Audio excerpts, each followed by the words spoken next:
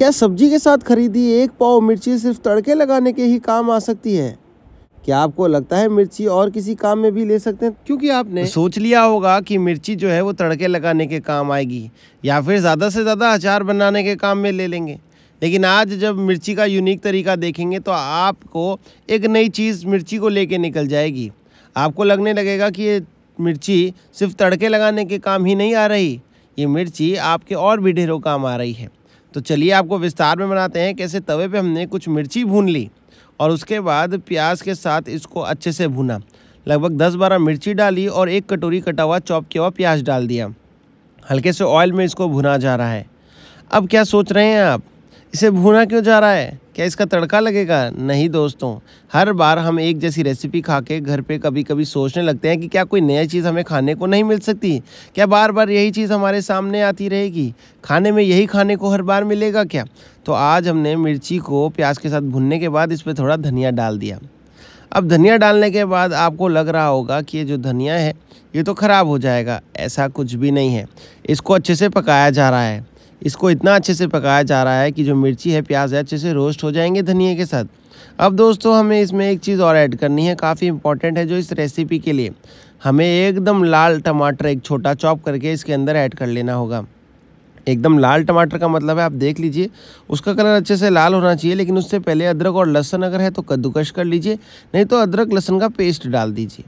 अदरक लहसन के पेस्ट के बाद खुशबू बहुत अच्छी आएगी इसके अंदर, और एक नई रेसिपी आपको जो चाहिए वो मिल भी जाएगी। अब जैसे मैंने कहा था, एकदम लाल टमाटर डालिएगा, उससे इस रेसिपी का कलर बहुत अच्छा आता है तो हम एकदम लाल टमाटर इसके अंदर ऐड करने जा रहे हैं। साथ ही में दोस्तों, आपको एक चीज़ का ध्यान रखना होगा आँच को ना ज़्यादा तेज़ रखिएगा, ना ज़्यादा स्लो रखिएगा। इससे क्या है, ये प्रक्रिया एकदम परफेक्ट नहीं बन पाती है। तो चलिए, लाल टमाटर डालने के बाद इसको पूरा अच्छे से घुमा लेते हैं। अब मैंने जब ये बात सुनी तो मिर्ची वाले भैया मुझे चीज़ बताने लगे। वो बोले कि इतनी खास बन के तैयार होगी। आप नहीं सोचो कि हर बार आपको सिर्फ़ तड़के के मिर्ची में डालना होगा। आपको ये और भी चीज़ों में काम आ सकता है। और जो मिश्रण बन के तैयार होगा, ये भी ढेर सारी चीज़ों में काम आ सकता है। मैंने कहा, जी, मिश्रण क्या तैयार हो रहा है? तो बोले सारी चीज़ें हमने आपके सामने भून ली हैं। मैंने कहा, जी हाँ। तो कहते, सबसे पहले अब गैस को बंद कर लीजिए। तभी आगे की प्रक्रिया को पूरा किया जाएगा। मैंने कहा, कर लेते हैं। लेकिन बोले उससे पहले इसमें हल्की बर्फ़ डाल दीजिए ताकि ये जो तवा है अच्छे से ठंडा हो सके और इसकी जो कुकिंग प्रोसेस है, वो यहीं पे रुक सके। मैंने कहा, अभी तो पूरी तरीके से कुक हुआ ही नहीं। इसका काम क्या करेंगे? तो बोले हाफ़ रोस्ट हो चुका है। बस यहीं तक हमें इसका कुकिंग प्रोसेस रखना था। तो चलिए, मैंने कहा, ठीक है, गैस को बंद कर लेते हैं और उसके बाद इसके अंदर बर्फ़ ऐड कर लेते हैं ताकि इसके कुकिंग प्रोसेस को रोक सकें। तो कुकिंग प्रोसेस रोकने के लिए देख सकते हैं, हमने सात आठ आइस के क्यूब डाल दिए हैं इसके अंदर। अब बार बार सवाल वही था कि बन क्या रहा है। बात वही थी कि ये यूनिकनेस है क्या इसमें? तो मैंने कहा, चलो आगे पूरी प्रक्रिया देखते हैं और जानने की कोशिश करते हैं, हरी मिर्ची से भला बन क्या रहा है। तो हरी मिर्ची के अंदर जब बर्फ़ डाली तो ये ठंडी हो गई थी तो पता चला कि इसे एक प्लेट में निकाल लेना है।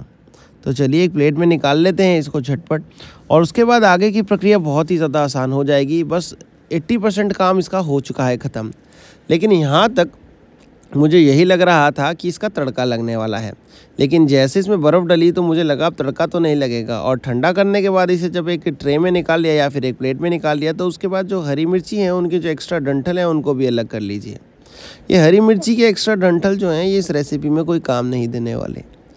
अब मुझे समझ में आ गई थी बात, आज हमेशा की तरह मिर्ची का तड़का नहीं लग रहा।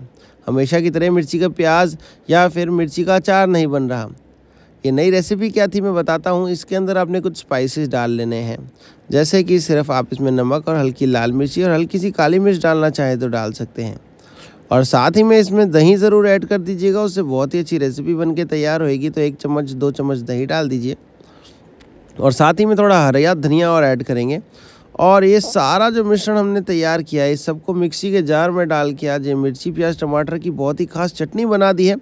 जो आप तड़के में तो ऐड कर ही सकते हैं। रोटी के साथ, परांठे के साथ एक बार खा के देख लीजिएगा। ये मिर्ची की चटनी जो है आपका दिल जीत लेगी। ये मिर्ची की चटनी कैसी लगी ज़रूर बताइएगा। हमने मेहनत करके वीडियो बनाया है। अगर आप इसे कमेंट में बताएँ कैसा लगा और ये कहाँ से देख रहे हैं तो हमें बेहद खुशी होगी। चलिए दोस्तों, मैं चलता हूँ, अपना ध्यान रखिएगा।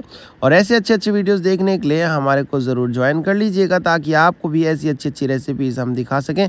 हल्का सा धनिया डाल के इसे गार्निश कर सकते हैं ऑप्शनल है। चलिए दोस्त, चलता हूँ बाय